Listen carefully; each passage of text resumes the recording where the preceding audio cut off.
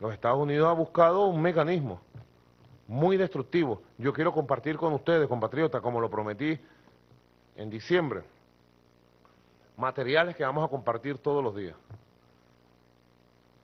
para crear conciencia de la destrucción que está haciendo Estados Unidos ahora de su propio territorio. No está invadiendo ciudades estadounidenses como lo hicieron con, con Mosul, con Bagdad, con Basora o con Trípoli, no. Ahora está destruyendo su corteza terrestre, está contaminando manantiales y fuentes de agua naturales, ríos, está enfermando gente gravemente, gravemente. Ya es un problema de salud pública serio para el pueblo de los Estados Unidos. De hecho, el fracking, por ser tan contaminante, tan destructivo, está prohibido en casi todos los países del norte, del mundo del norte, prohibido por leyes muy severas. En los Estados Unidos, en Vermont y Nueva York, las autoridades de salud prohibieron expresamente que se utilice ese método para sacar gas y petróleo.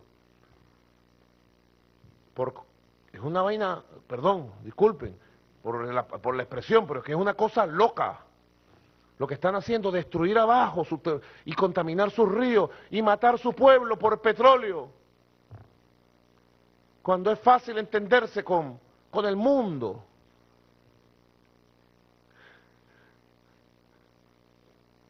Es que de verdad, a veces eso indigna y lleva a tener un sentimiento. No dice que el pueblo de Estados Unidos tiene conciencia de lo que le están haciendo y la tragedia que va a enfrentar en el futuro. Hombres y mujeres de los Estados Unidos, hermanos de los Estados Unidos, hermanas. Todo por el ansia de controlar el mundo, controlar el petróleo para controlar el mundo, controlar las fuentes de recursos naturales para controlar el mundo. ¿Y para qué quieren controlar el mundo? Para esclavizarnos, para saquearnos. Se lo digo al pueblo venezolano.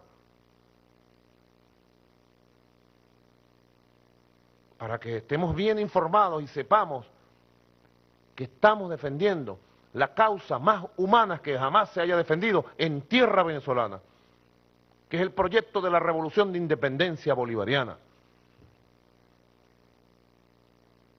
que es el modelo económico-social más avanzado de distribución de la riqueza, de justicia social, que es el modelo construido por el comandante Chávez, el socialismo bolivariano.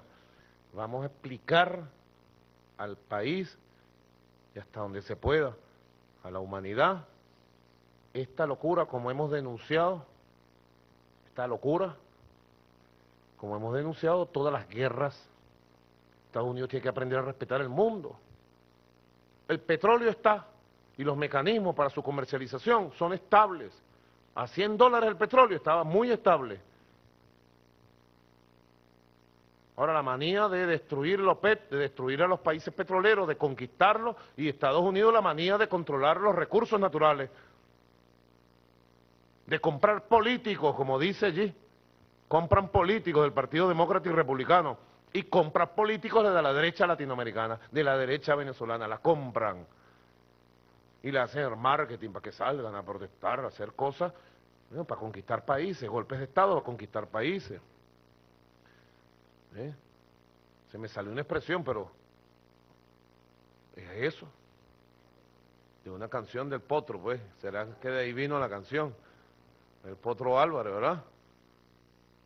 Es una cosa loca pretender controlar este mundo que hoy existe, que no es un mundo de esclavos y vasallos, es un mundo de hombres y mujeres conscientes y libres en la humanidad, empezando por el pueblo de Venezuela, que es un mundo de hombres y mujeres rebeldes, bolivarianos, dignos, patriotas,